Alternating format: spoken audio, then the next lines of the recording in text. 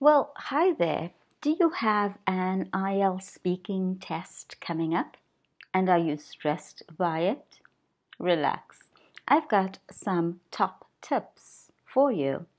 I'm Nas Cee and I am an IELTS test preparation specialist. I have to be honest with you guys. If I were taking the speaking test, I'd be a little nervous, apprehensive as well.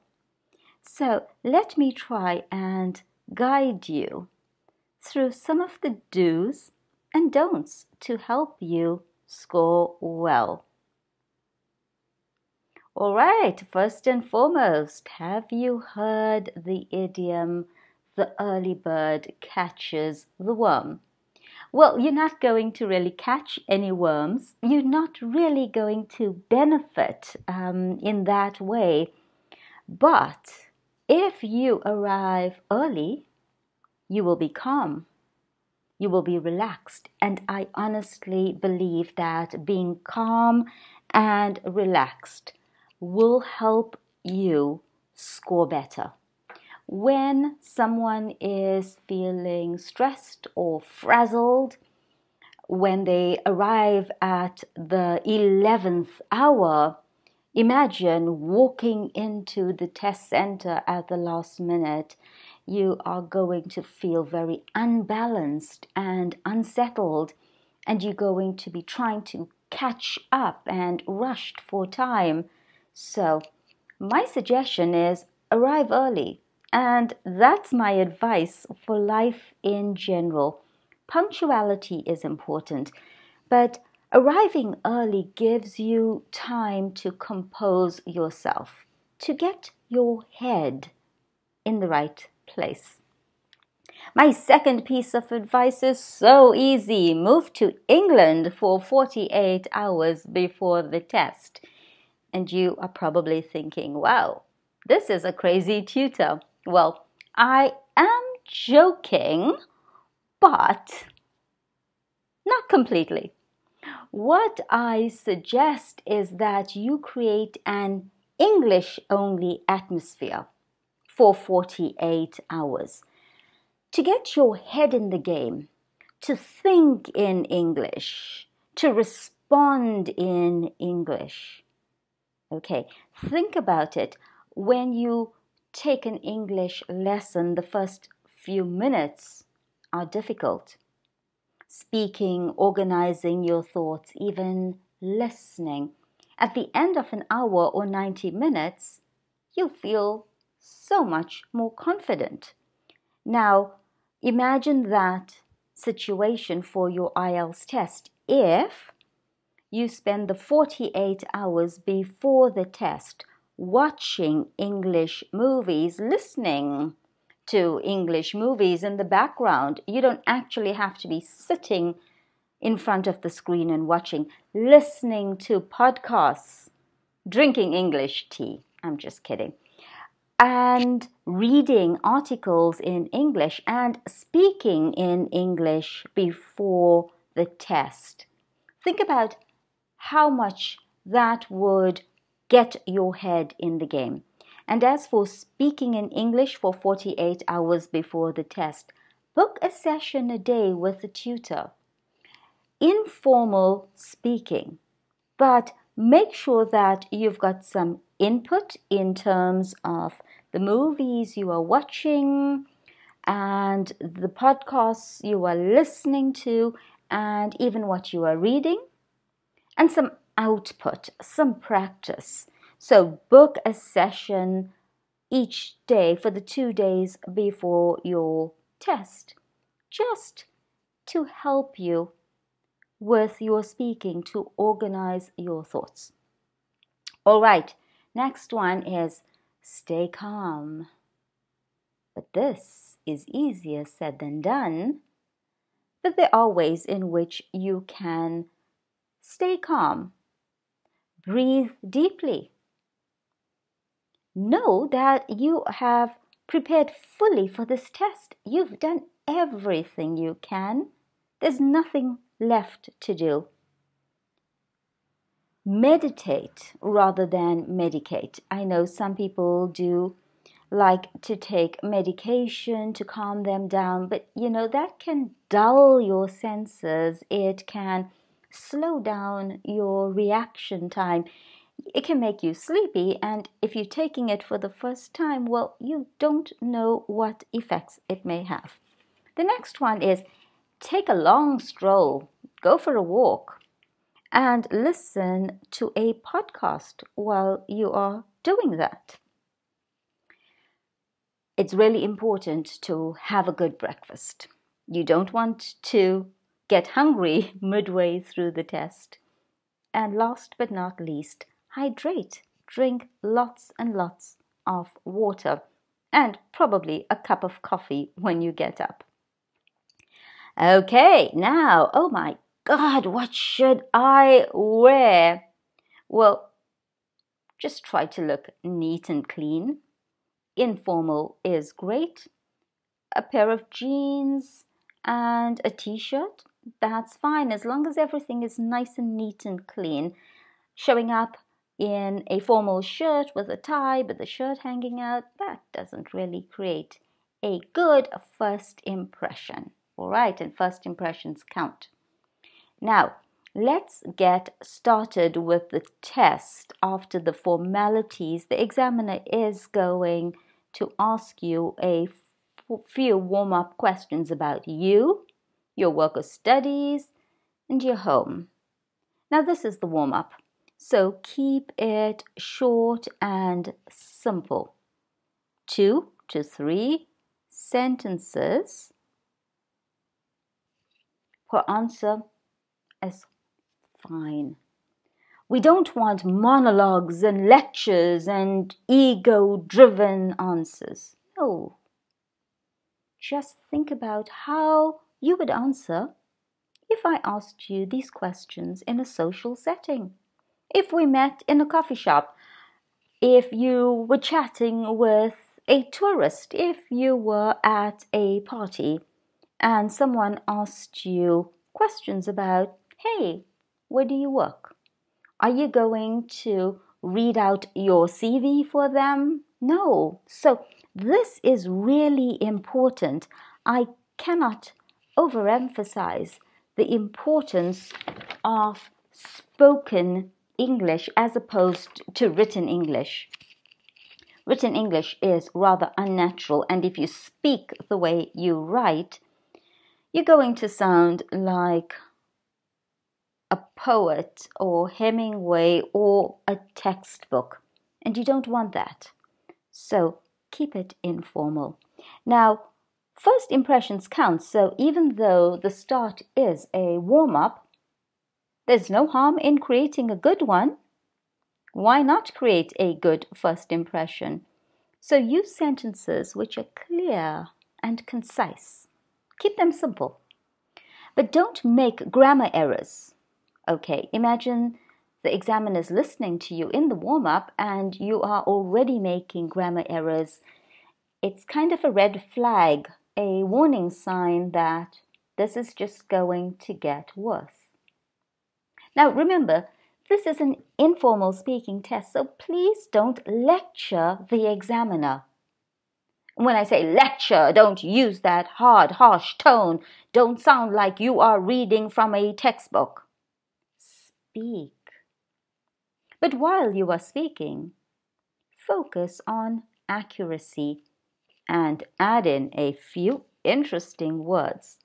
Vocabulary, idiomatic language. This is a language test after all. Now let's look at the first question that you would get Do you work or study? two to three sentences. Well, actually, at the moment, I'm working while studying part time. I currently work at Facebook and have been there since 2008.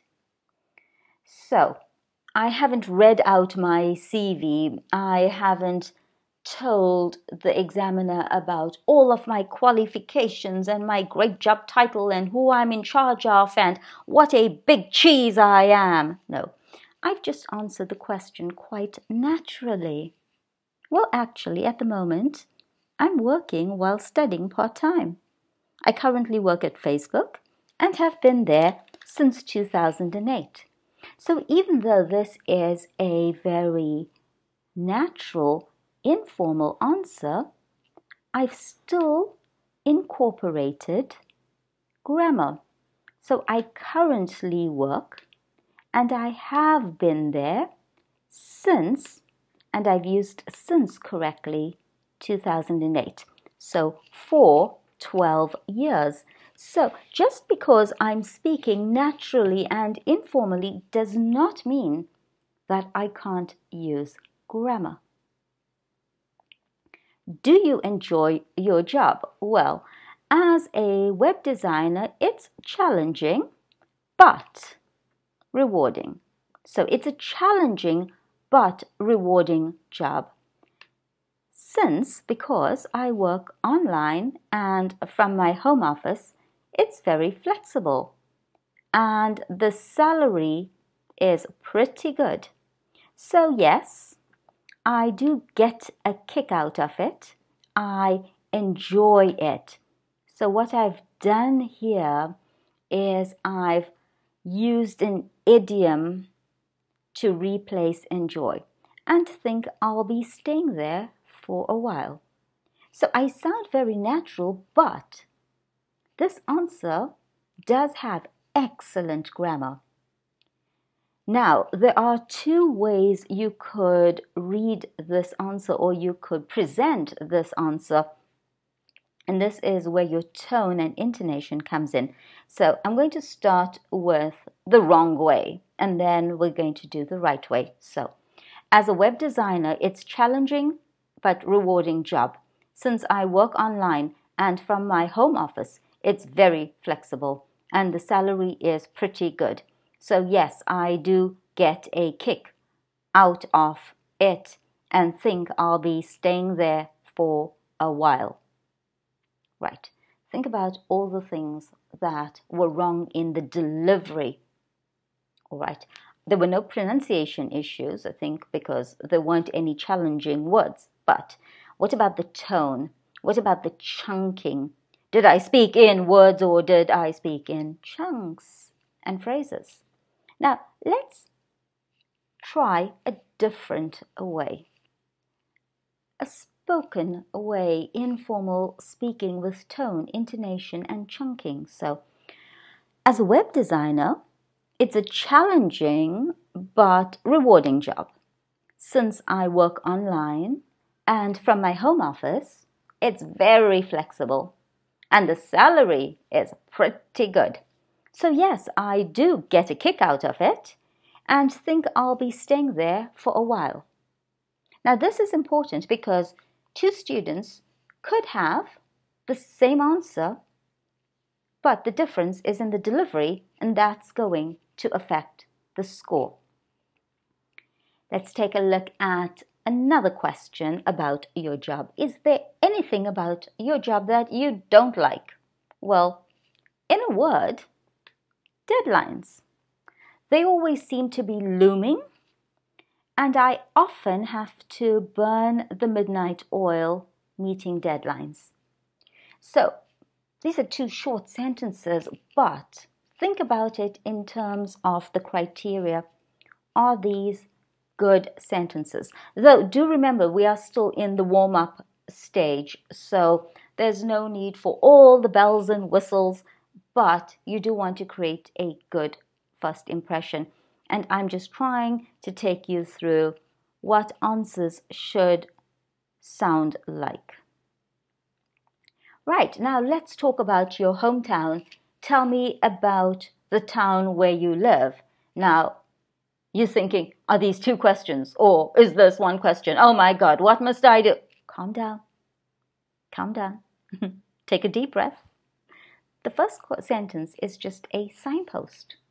So you can discuss your hometown if you still live there or the town where you live now. So my hometown is in South Africa, but I now live in Turkey. So the town where I live is different from my hometown. But hey, calm down It's not a trap. Just answer the question. So, in order to answer, focus more on your vocabulary, your adjectives, and your idioms. So, let's talk about your hometown. So, the examiner is just introducing this idea hometown, a place, a village, a town, not clothing, not sunglasses, not the car you drive. Hometown. Okay, tell me about the town where you live. Now, thinking in terms of language, is it a big town? Is it a small town? Is it a bustling metropolis or a quaint village? Are there skyscrapers or historic buildings? So you could start out with, well, I live in this place and I've been living there since. It's a charming little coastal town, a rather quaint village that has lots of ancient historic buildings. It's quiet for most of the year, but attracts hordes of tourists in the summer because of the pristine beaches and interesting historic sites. So, I've answered the question, Where do I live? I've added in details about how long I've been living there. Charming little coastal town, nice adjectives. A rather quaint village that has lots of ancient historic buildings. Now, use adjectives but don't overuse them. Sometimes candidates want to give you a list of four adjectives before a noun. That doesn't sound natural. That's not how we speak. Also, we don't always speak in full sentences. We pause, and pausing is okay. If you're pausing to come up with ideas, not pausing because you don't know the grammar structure or something like that. So it's quiet for most of the year, but attracts hordes of tourists in the summer because of the pristine beaches and interesting historic sites. So I've added some details. So always start out in a very general way and then build. But here I've stayed true to the three sentence rule. So, what's the most interesting thing about your town? So, that would be another question that is likely to come up. Well, off the top of my head, okay, so if you're asking me and I have to think of something right now, well, I'd say that the most interesting thing about my town is the architecture. Some of it dates back, so it goes back hundreds of years, and there's an amazing little church. The Church of a Hundred Doors, which is rather unique. Now, look, I could have said unique, but I've qualified it with rather. Okay, so rather unique. And this does take the score up. The locals say that if you exit through the correct door and no one knows which one that is, you will be blessed. All right. So, when answering, don't lecture. Keep your language spoken English. Don't try to sound like a poet. Don't try to sound like Hemingway. And do not try to sound like a textbook. When you are preparing your answer, write down phrases, not sentences. Obviously, in the test for part one, you're not going to write down anything, but I'm talking about pre test preparation, okay? When you are working through all of the different questions, write down phrases, not sentences. So, bustling metropolis, and then take that phrase and create an answer out of the phrase. Another important point is do not memorize sentences. It's so obvious when a candidate is trying to repeat a sentence which has been memorized, and when they suddenly forget one word in that sentence, they get so stressed out. No, no, no, don't do that. Do not memorize sentences. Learn phrases and use those phrases in your everyday speaking. Speak in chunks. Don't speak in individual words. Imagine if I delivered this entire tutorial speaking in individual words. You would have left a long time ago. Don't forget about tone and intonation. So let's look at some tone and chunking here. So I've underlined the chunks, okay? And in the chunks, think about which word you would like to emphasize. What's the important word in that chunk? So it's a charming little coastal town. Do I want to draw attention to coastal or charming? Ancient historic buildings. It's stunning. Imagine me saying, It's stunning. It's stunning. Okay? So, this is what I want you to think about. So, I live in Paros and I've been living there since 2010. It's a charming little coastal town, a rather quaint village that has lots of ancient historic buildings. Oh, it's stunning.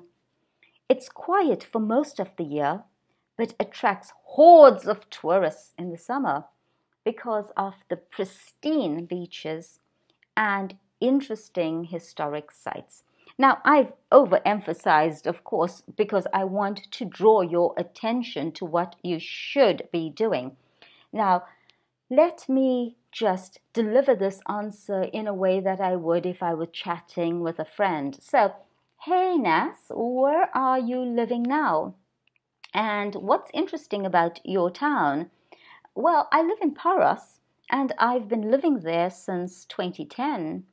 It's a charming little coastal town, a rather quaint village that has lots of ancient historic buildings. Oh, it's stunning.